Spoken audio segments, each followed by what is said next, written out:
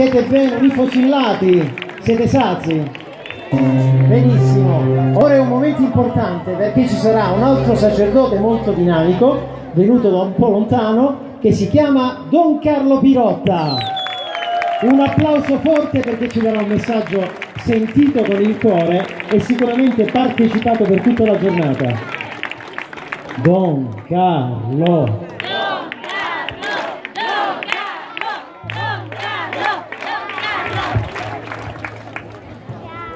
Qualcuno una volta ha scritto che la giovinezza è una malattia, ma che non è grave perché tanto prima o poi guarisci, ma non è mica vero e te ne accorgi quando guardando le nonne che portano i bambini al catechismo della prima comunione ti accorgi che hanno la tua età e dici no, forse non mi sento il nonno. E quindi la giovinezza non è una malattia dalla quale si guarisce perché è una condizione dell'anima che dura sempre. Si può essere sempre giovani, ma lo si può anche non essere mai. Si può essere gente vecchia già a 15 anni, gente che non ha più speranze, che non ha più voglia di dare. E allora voglio lasciarvi un solo messaggio che di tanti anni fa, quando ero giovane io, l'allora Papa San Giovanni Paolo II scrisse una lettera a tutti i giovani e in questa lettera scrive una cosa bellissima che ci può servire ancora oggi.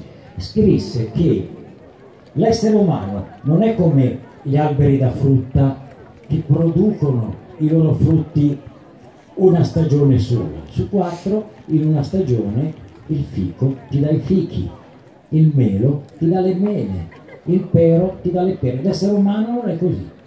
L'essere umano deve dare frutto in ogni stagione, anche nella giovinezza, anche in quella strana giovinezza che è la terza età, anche in quella giovinezza che da adulto portare avanti la propria famiglia.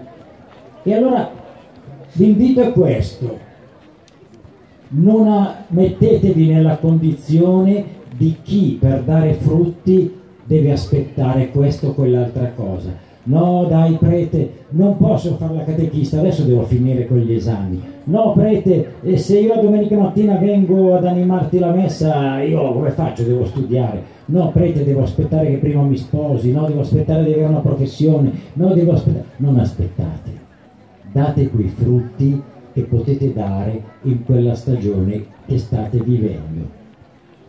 Non siate